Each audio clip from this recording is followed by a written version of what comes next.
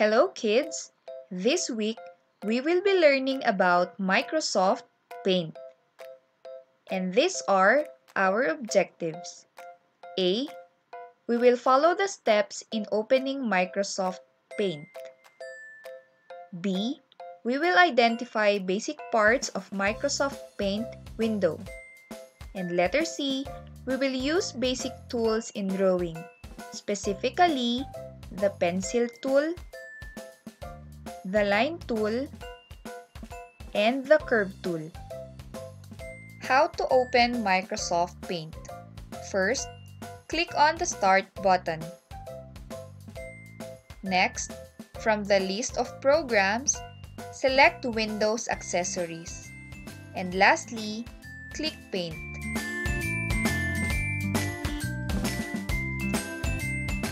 The topmost part of your Microsoft Paint window is called the title bar. This contains the name of your drawing. Below the title bar is the ribbon. The ribbon has all the tools you need for your drawing, like the Tools group, Shapes group, and Colors group. The white area is called the drawing area or the canvas.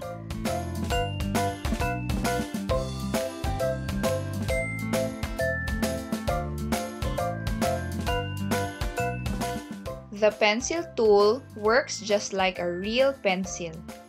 To draw, click on the pencil icon from the Tools group. Notice that your mouse pointer will also change into a pencil. To begin drawing, click and drag your mouse around the canvas. To stop drawing, release the mouse button. You can create freeform lines or scribble using the pencil tool. If you want to change the color of your pencil, select the color that you want from the colors group.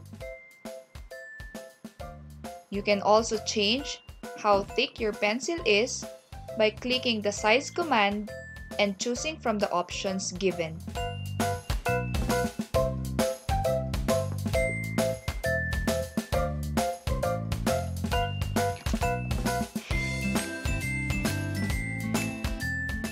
If you make a mistake or want to remove a part of your drawing, for example this area, click on the eraser tool from the tools group, choose the size that you want, then drag it over the area that you would like to be erased.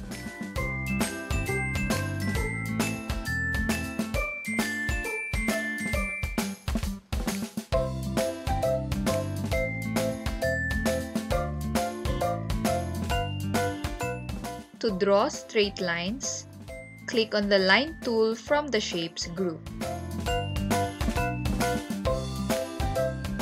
Click where you want your line to start, then drag your mouse to where you want it to end.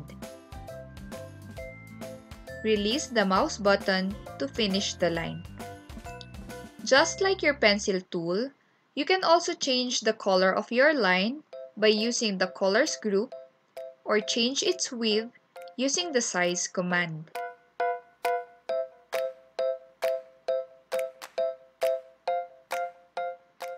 Another way to remove a part of your drawing without using the eraser tool is by clicking the undo icon located on the upper left of your window. This will undo your last action.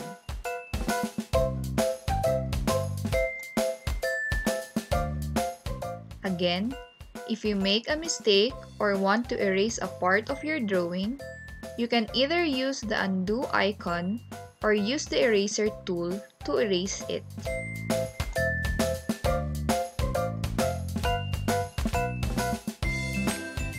To draw a curve, select the Curve tool from the Shapes group.